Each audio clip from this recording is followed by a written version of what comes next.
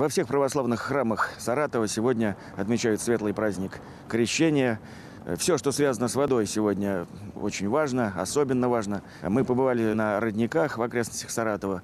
Там вода тоже освещается, и люди э, приезжают набирать ее уже с новым осмыслением, переосмыслением.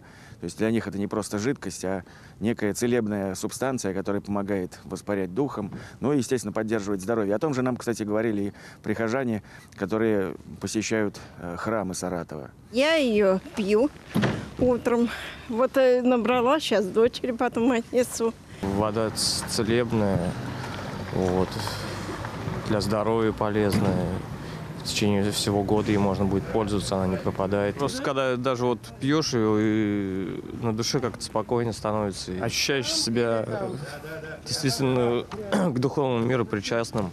Когда в церковь придешь, водички наберешь, как на душе легче становится. А мы для детей в основном берем умыться, попить, когда болеет. Мы считаем, помогает, верить самое главное. Когда веришь, наверное, с верой помогает Господь. Ну, и, естественно, особое значение в этот день имеют омовения, крещенские купания.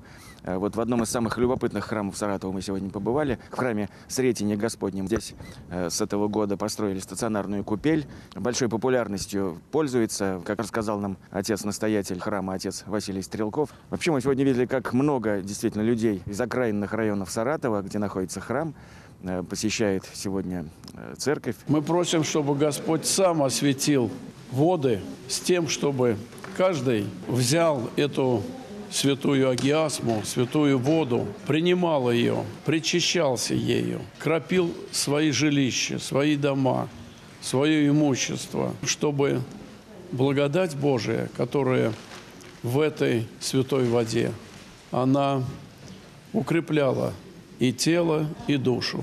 Ну, остается добавить, что погода сегодня, конечно, может быть, не очень располагает к купаниям, но это те самые крещенские морозы, о которых принято в народе говорить.